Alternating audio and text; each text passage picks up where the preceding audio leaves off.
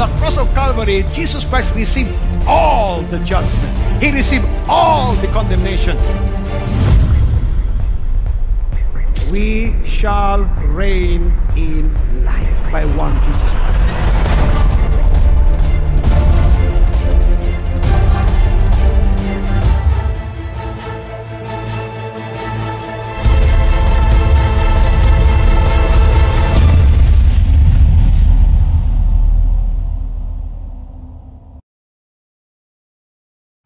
Now, marami pong mga katanungan po sa mga nangyayari po sa mundong ito na dapat po masagot ng salita po ng Diyos.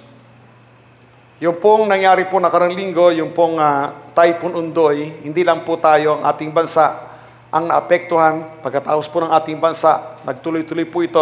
In fact, nung ito po ay uh, tumuwid ng South China Sea, medyo mas lumakas pa ito, and then it hit Vietnam, Cambodia, and Laos later on.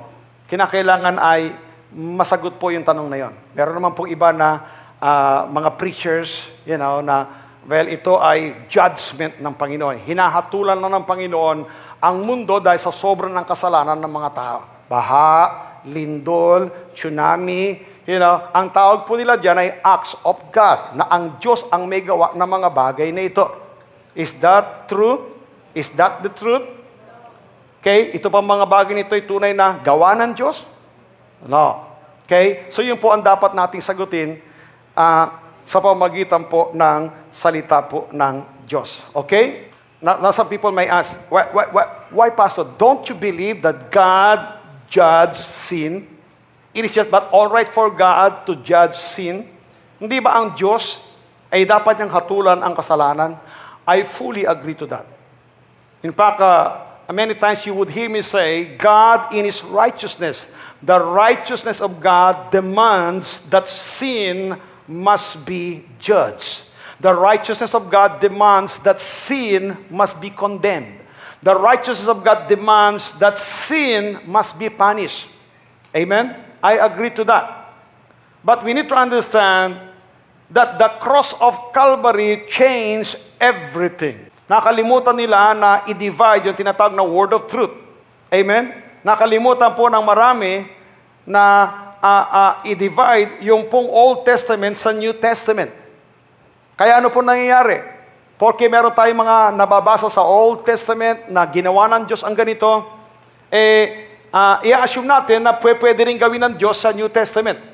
May mga bagay ang Diyos na ginawa sa Old Testament na hindi niya pwedeng gawin na sa New Testament because of the cross of Calvary.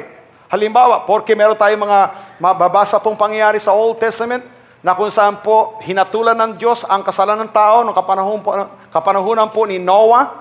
Okay? Pwede rin gawin ng Diyos dahil sa kasalanan ng tao ngayon, pwede rin po niyang hatulan ang mundo katulad ng ginawa niya noong kapanahunan po ni Noah. Meron tayong mababasa sa Old Testament na hinatulan ng Diyos ang kasalanan ng tao doon sa Sodom and Gomorrah.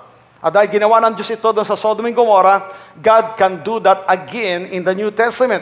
Now, there, as I said, because of the cross of Calvary, there were things that God did uh, in the Old Testament na hindi na po niya pwedeng gawin because of what Jesus Christ has done in uh, or at the cross of Calvary. Now, John chapter 3 in verse 16 says here, For God so loved the world that he gave his only begotten Son, that whosoever believes in him should not perish but have everlasting life. Sino po ang memorized by heart ang John 3.16? Praise the Lord. Kaya lang, I would suggest that you memorize also the next verse. Because the next verse said, For God sent not his Son into the world to condemn the world, but that the world through him might be saved. Amen? John 17 said, For God sent not his Son into the world to condemn the world, but that the world through him might be saved. Now listen to this. The world has to be condemned because of sin. Amen? Ang, ang sanlibutan po ay dapat po nahatulan dahil po sa kasalanan. I told you a while ago that the righteousness of God demands that sin must be condemned. The righteousness of God demands that sin must be punished. But thank God He sent Jesus Christ not to condemn the world, but that, you know, the world through Him might be saved. Paano paraan? Paano nangyari ito? Nasa halip na ang mundo ay tumanggap ng condemnation, Nung ipinadala ng Panginoon si Jesus Christ, sa halip na ang mundo ay tumanggap ng condemnation, sa pamagitan ni Jesus, ang mundo, ang mga tao ay pwedeng maligtas. How come? Because at the cross of Calvary, okay, Jesus Christ was made sin.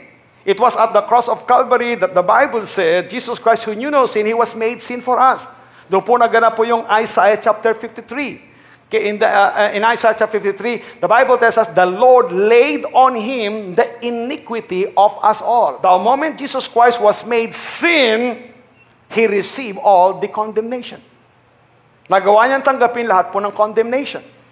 Are you still here? Now let's, let's go over, again, if you will back up a little bit, in John chapter 3, in verse 14, And as Moses lifted up the serpent in the wilderness, even so must the Son of Man be lifted up. Talking about the cross of Calvary. Kung paano po na yung pong uh, uh, uh, brazen or imbrosen, uh, serpent, yung pong uh, ahas na yari po sa tanso, ito po ay ibinayubay sa isang uh, uh, uh, poste, sa isang krus, na yari sa kahoy doon sa wilderness ng panahon ni Moses, so even so must the Son of Man be lifted up, that whosoever believes in Him should not perish but have eternal life. Can you still remember that? Okay? Now, nung panahon po ni Moses, doon sa wilderness, ay uh, yung mga tao po sila po'y tinutuklaw ng mga makakamandag na mga ahas. At marami po namamatay because of that. Okay? At that, and then, the, the, then Moses cried out to God. And God told him, okay, ganito ang gawin mo, gumawa ka ng isang statue na uh, uh, yari sa tanso, okay, na korting ahas. Gumawa ka ng ahas na yari sa tanso, pagkatapos isabit mo sa isang puno, sa isang uh, kahoy, at pagkatapos ibayubay mo sa gitna ng ilang, sa gitna ng wilderness. Ang sino mang makagat ng ahas uh, na makamandag, kung nais silang maligtas, wala silang gagawin, kundi tumingin lamang doon sa uh, uh, uh, ahas na yari ng tanso na nakabayubay doon sa punong kahoy sa gitna ng ilang. Amen? Ganun daw po ang ating Panginoon nung siya'y mabayubay sa krus ng Kalbaryo. Naging katulad po siya nung ahas na yari sa tanso. Okay? Bakit po ahas? You know, snake or serpent represents sin. Bakit po tanso?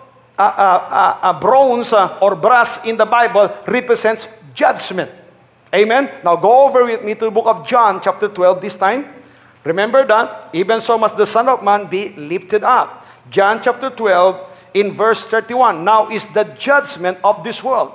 So again, the world has to be judged. Amen? Pero paano po maipapataw ng Diyos ang kaparusahan sa mundong ito dahil sa kasalanan?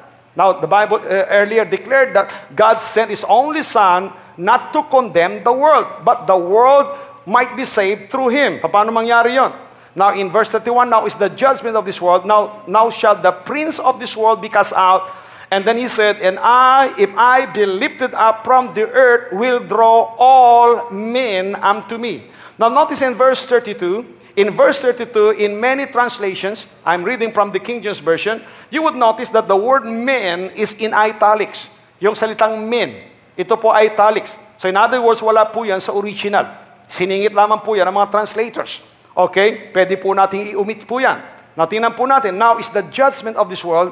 Now shall the prince of this world be cast out. And if I, if I be lifted up, repairing to the cross of Calvary, if I be, I, if I be lifted up on the cross of Calvary from the earth, I will draw all unto me. I will draw all unto me. Now, based on the context, Jesus Christ is saying, if I be lifted up, okay, if I be lifted up from the earth, I will draw all unto me. Based on the context, he was referring to, I will draw all judgment unto me. I will draw all condemnation unto me. Amen? I will draw all the punishment unto me. At ganoon po na yan sa krus ng Kalbaryo. Nung Seso Kristo, ipinato sa kanya ang lahat ng ating kasalanan, kaya nung siya'y maging kasalanan, He drew to Himself all the condemnation. Okay? That's why the Bible said, because Jesus Christ was the one who received all the condemnation, there is now no condemnation for those who are in Christ Jesus. For God to condemn you today because of your sin as a believer is tantamount to double jeopardy. God already judged sin at the cross of Calvary. Amen? Thank you for tuning in to Reigning in Life.